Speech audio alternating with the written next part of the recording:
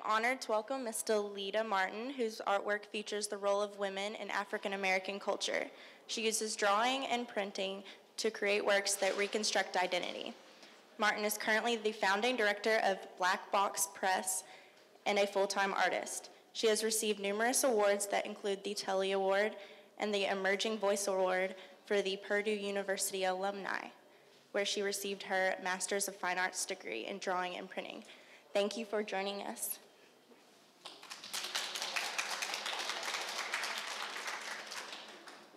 I'd like to thank you all for coming today to um, hear me talk about this work. Um, I'm going to start off by just kind of um, talking about how this particular series of work um, kind of got started. Um, I decided two years ago that I was going to uh, step down from teaching and I wanted to work as a full-time artist. So my husband was like, you know, we need to come up with a plan. I think you need to be in the studio and if it works, great. And if it doesn't, you'll have a really good story to tell. so, so either way, you know, but you know, luckily for me, it kind of worked out. So I'm really excited about that. Well, when I left the university, um, I started kind of looking at my work and thinking about um, a new series of work, something that I really wanted to work on and what I wanted to do. And, you know, watching the news and watching TV, all these just, you know, there's so many horrible things that are happening today. I wanted to really focus on something positive, um, something positive in our communities and something that was very close to home.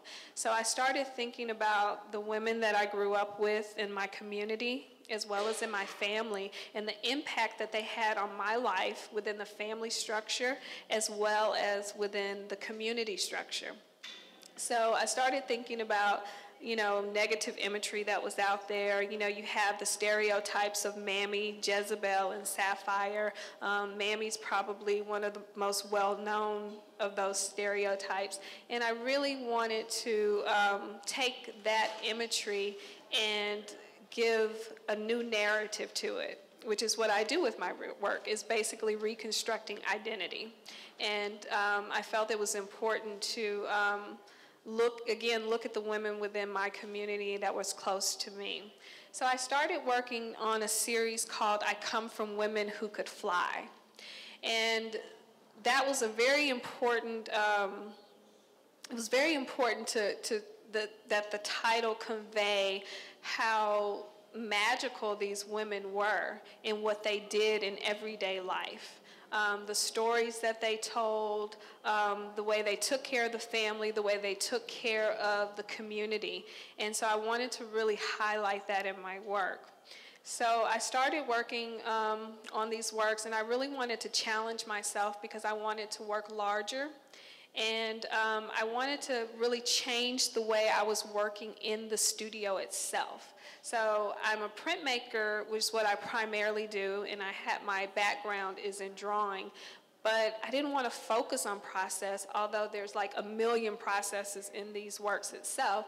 But I wanted to get into the studio, and it was about creating, about taking whatever knowledge in whatever area that I had and creating these works. And that's what I did. So if drawing worked, great.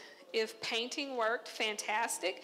If printmaking worked, even better. So I married all the processes that I had learned in school together in order to create these works. So that was the first um, challenge um, beyond size. This was the first piece. Um, the uh, Dreamkeeper was the first piece in the series that I created, and this is an image based on my grandmother. Now, growing up, I, you know, there weren't any museums, there weren't any art schools, there wasn't any of that that I could really reference as a child. Um, I grew up in Conroe, Texas, a very small town, uh, predominantly white, and there wasn't any imagery that looked like me. And so I didn't really have a reference. So I had started trying to bring this imagery into my work. And, um, you know, there just, there just wasn't a lot of resources for me. Well, I, the way I grew up with my family, everybody could draw, everybody could paint. Um, there were woodworkers, uh, quilters, and oral storytellers. There were also writers, poets. Um, so creating was something that we did. It wasn't an emphasis on it. It wasn't, um, you know, something that we really talked about. It was just something you did. It was like drinking a glass of water. You just did it. So, um, so that's, that's how I grew up creating. Well, at the age of 12, um, I think I was about 12 or 13 maybe. Uh, my father comes home and he says, get, your, get, get all your work together. And I put it in this really sad portfolio that I made out of two poster boards. And I took these drawings with me and we drove to Houston from Conroe about 45 minutes. And I met Dr. John T. Biggers. And my father studied under Dr. Biggers. And so he knew him, you know, they called him Doc. And so he gave me my first art critique. And I was absolutely in awe of this man. And when I saw his work and I saw the imagery that he was using, it gave me the validation that I needed in my work to continue to create my work. So I think at that very moment, I knew for sure that that's what I was going to do. So he looks at my work, and I'm still I'm standing there like, oh my God, John Biggers is looking at my work, and this is the only thing that's registering in my mind is Dr. Biggers is looking at my work. Dr. Biggers is looking at my work. Oh my God, oh my God, who can I tell? Who can I call? Who's going to know what I'm talking about? But he said one thing to me that truly stuck out to me, and I've tried to bring that into the studio, and it's always at the base in the foundation of all my work. He said, "Young lady." Do not ever miss an opportunity to uplift your people through your work. And that is something that I've taken to heart, and it is the foundation of all of my work in my studio. And this is what I've tried to do with the series I Come From Women Who Could Fly. So, my grandmother was a storyteller. Um, she was a quilt maker as well. And I can't sew, but I was in charge of cutting the pieces for her quilts.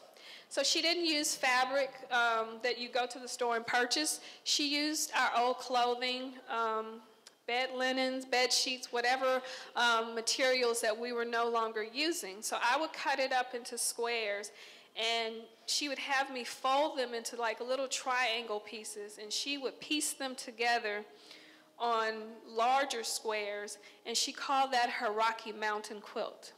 And we talked about what it would be like to be in the Rocky Mountains. She never traveled anywhere, we didn't have the means for that.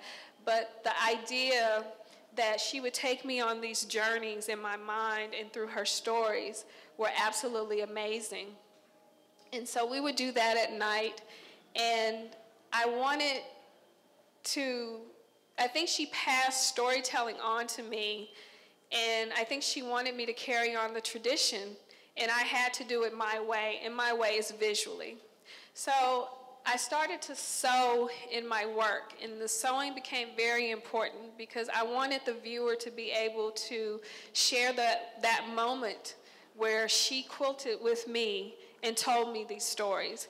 And, and that is why um, the sewing of the hair and the sewing of the clothing and all these works are sewn together because it's piecing together, and that's what she calls sewing. Whenever she made quilts, she would call it piecing together. So this is my way of piecing together that history, that tradition, and those stories that she told me. And so when we weren't quilting together, the other thing that we would do is she loves stuff. So I think some of you that took the workshop from me this morning, you know, I'm a hoarder. I keep everything. I can't get rid of stuff. And, um, and I think I just grew up like that. Well, she would have jars, mason jars, and um, Folgers coffee cans. She always kept them, and she would have things in them. There was buttons. There was pieces of fabric. There were old bottles of perfumes. There were tops. Anything you could possibly think of were in these jars, and she would dump them out on her bed, and we would go through, and there was a story attached with every single piece. And she would repeat these stories to me over and over and over, and I never got tired of them. And so growing up, I began to associate objects with people, places, and things. So I started looking at my work and I was like, wow, you know, I have these bowls that are appearing, I have these birds that are in the work, I have, you know, safety pins, jars. What is it saying to me? Well, this became my visual language. It became a language for me to use to talk about these women. So I began to take these objects and reassign their identity to them as well so that they can speak my language. And what I like about it are these are common everyday objects that we see. A lot of them are domestic objects, but every single person in this audience has seen them before and has some sort of connection with them. So when you look at my work and you see a bowl, it may not have the same meaning to you as it does to me, and I'm always happy to share my meaning and my story. But when you look at it and you're like, oh, wait, you know, I remember that style of bowl. I remember those mixing bowls, those yellow mixing bowls and, and things like that. The conversation starts. And that's what I like to bring to my work is this conversation that happens between the viewer and the work. So the bowl is a symbol that you'll see in my work. I use a lot of circles. The circles are symbols of the moon. The moon references the female. Um, the bowl references the female in that it's the wound. It's a vessel, just as the wound is a vessel. And so when I created this piece here, the bearer, I was thinking of this young woman as the bearer for the next generation that would carry it on, the person that would pick up and take it to the next generation. So I called her the bearer, and she has these, she's surrounded by bowls, these vessels. So you look at her, and I don't ever think of her as um, a single image. I always think of her as a group with her ancestors, with the spirits around her as well. So those are the type of symbols that I use in my work as well. Um, the backgrounds uh, are printed they're abstract in comparison to the images themselves? Well, that's because I like space. But when I think about space, I think about mental space, I think about emotional space, I think about psychological space. And I believe that when we walk into a room or we walk into a space and we feel a certain way, it's because of that fingerprint or that, that human that humanness that's left behind in that space. And I think spaces um, sometimes shape us, and we sometimes shape spaces. And so that is why when you look at the work and you begin to see the patterns come through or the background comes through, that's showing that connection between that person and that particular space. So all of these things um, come together to uh, help me to be able to tell the stories of these women and uh, create the series of work. So, are there any questions, or I may not be covering everything, but yes, ma'am. Oh, I'm sorry. I'll pass it around. Is your work on paper, or is it some other surface? Um, I work on paper. I love, I absolutely love paper. Um, the pattern pieces that you see are, over the years, I've collected handmade paper and hand printed paper from all over the world. And I had no idea what I was going to do with the paper. So I've had it for several years. And then when this series came about, it just kind of like, you know, it reminds me of fabric and I want to sew with it. So I use, um, I think I was talking earlier, I use one stitch to sew the uh, paper or the fabric um, onto the piece. It's the only stitch that my grandmother taught me. I don't know what it's called. It's over under stitch, but that's very important to me because that's what she taught me to do. So I wanted to, again to be able to bring that to the work. But some of the um, the prints are hand printed and, and others are, are handmade papers. Are some of them fabric also? Yes. Like that looks like fabric. No. Um, the works that are in this show are actually all paper. The works that are here. There are some pieces within the series that are that include fabric and paper together, and I really like the the combination of the two because you really kind of have a difficult time um, actually telling the difference. Um, I love visual texture as well, so when you're up on the piece, I like it when people come up to the work and actually look at the work because there's a lot of different things that are happening and that's going on. So when I talk about my work, I really like to talk about the pushing and the pulling of the mediums. You know, some areas fight each other and other areas marry together really well. So you have this conversation within the work that's happening that I really enjoy.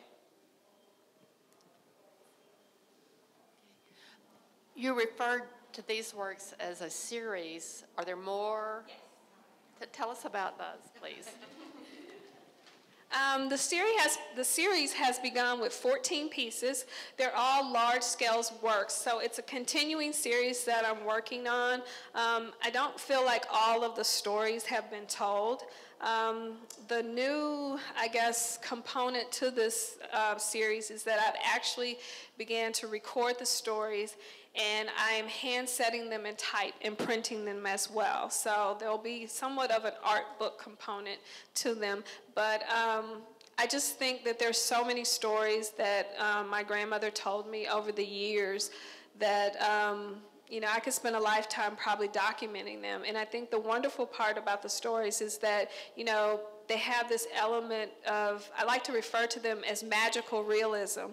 You know, there's this story that's based in truth, but there's this fantastic element to it. And so I try to bring that to the work as much as possible. Um, the main story that's in the work itself is um, about a, a, woman named, well, actually, a young girl named Luna. And Luna lives in the moon.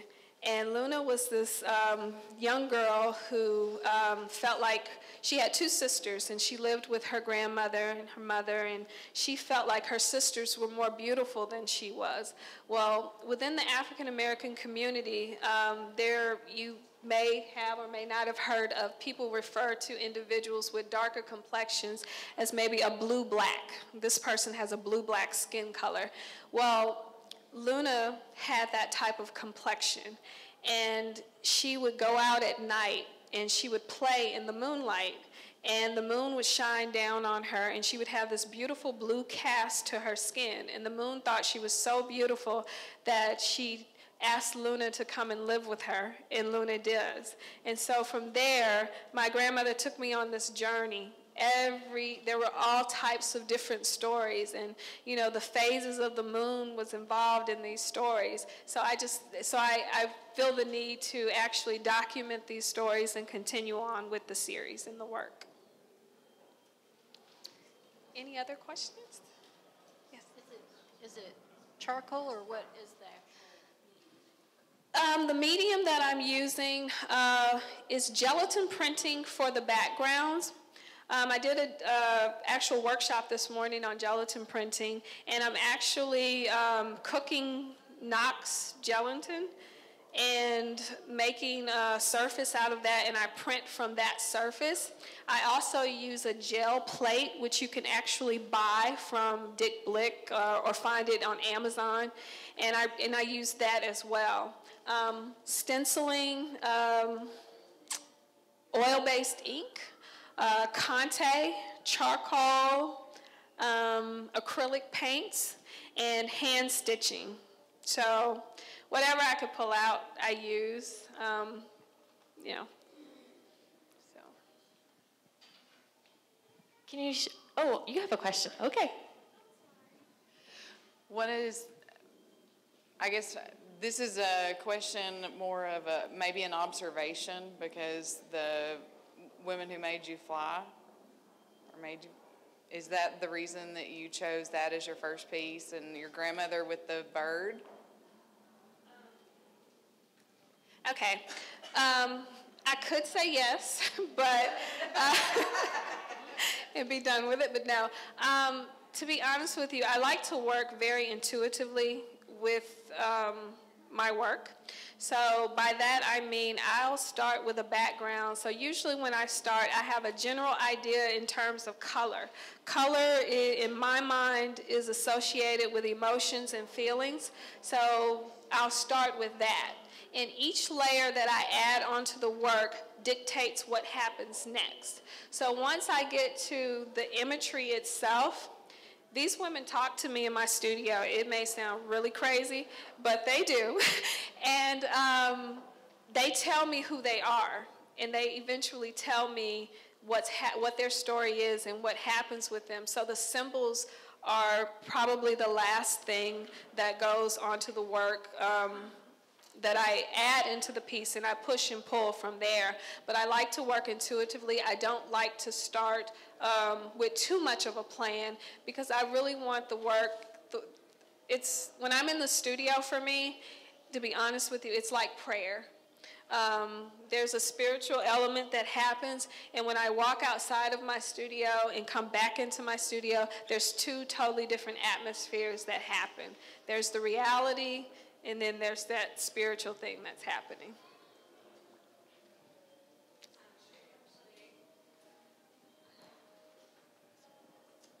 Um, so I have three questions, kind of, and you can do what you want.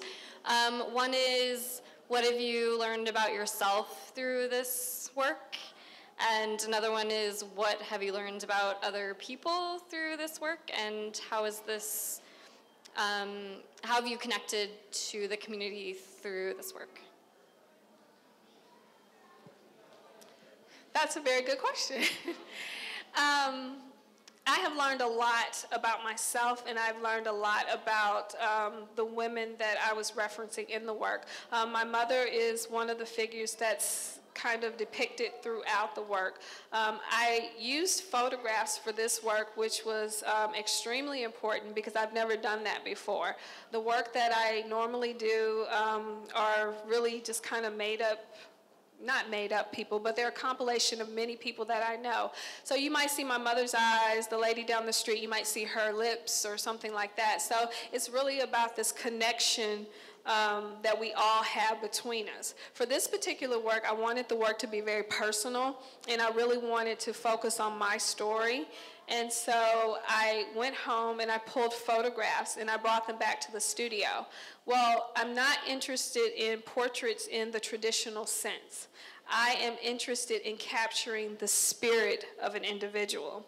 Um, I in undergrad, I had the opportunity to visit an artist's studio, um, well, actually her home. And she's a stained glass artist in Dallas, Texas. And she had a portrait that was done for her or done of her by Dr. Biggers.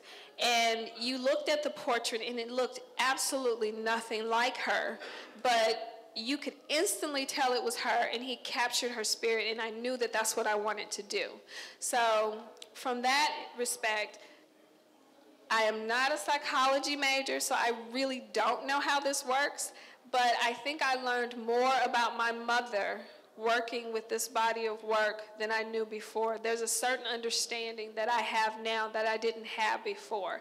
You know, we probably all have little mother issues everywhere or family issues, but some of those things have gone totally out the window, and I'm not really sure the psychology of how it works, but I learned um, a lot about myself and, you know, where I come from and why I maybe do the things that I do. So, so there was a learning process with this as well. So it was kind of therapeutic in a way. So we've been sort of learning the story of the travels for state of the art. And when the curators came to various studios, did, could you share, was it Chad or Don? And how did you bring them into your world and understanding of what you're doing? That's a good story. Um, well, first of all, I had no idea about the project itself. I was busy working on this body of work. I had this piece completed and maybe a half a piece done. And I received an email from Chad, and he wanted to know if he could come for a studio visit. And I said, sure. and I knew who he was, and you know he was affiliated with the museum. But I, again, I didn't know anything about the project that was going on. So I was like, sure. So he comes in and he says, well, um, you know, is it okay if I video? And I was like, sure, go ahead. So we talked, and we didn't really necessarily um, talk about this work in particular, but I did talk about my process as well. So he left, and I was like, great conversation. So a few months later, I um, was watching television late one evening, and my phone kind of vibrates, and I get an email, and then I started getting text messages that was like, "Congratulations on the Huffington Post interview," and I was like, "What?" So. I quickly Googled myself, Delita Martin Huffington Post, and I said, "Oh my God, this is the the the interview with Chad." And I was like, I called my husband, and it was at that point that I actually went online and started kind of Googling and found out about the project. And I was like, "You don't think?" And he was like, "Well, I don't think they would have put it on, you know." the Internet, if it, if you weren't going to be included, I was like, well, are you sure? I was like, well, I'm not going to, you know, I'm, I'm just going to block it out of my mind just in case it's not true. So I tried to. And um, I eventually got another email. Well, it was interesting because the email was like, hopefully, we would like for you to participate. Um, it was very, you know, not very direct, I should say. So I'm like, well, do you think? And he was like, I think you're in. I was like, well, I'm not going to say anything because I don't, I don't know. I'm not sure. So um, they came out to do a second interview, and the um, young lady was like, So, how does it feel to be included in the exhibition? And I was like, oh, Now that you've told me, it feels great, you know? so, I, so I honestly, you know, I'm hanging on to these emails where they're like potentially included in the exhibition, um, hopefully included in the exhibition. So I wasn't really sure, you know, I didn't want to assume anything. So that's kind of how it, um, you know, came about. And so it was like, that's pretty awesome. yeah, so that was really awesome. Are there any other questions? No? Well, uh, again, it was so wonderful that Delita came here, and she has been so busy with the teacher development program and giving an art talk. She came in earlier on Friday to prep for the workshop. And come up here so everyone can see you in the light. Uh, she's going to stick around for a few more minutes if you'd like to speak with her in person or just, you know, let her know how you feel about her paintings. Please do. And again, thank you, Delita. Thanks for coming.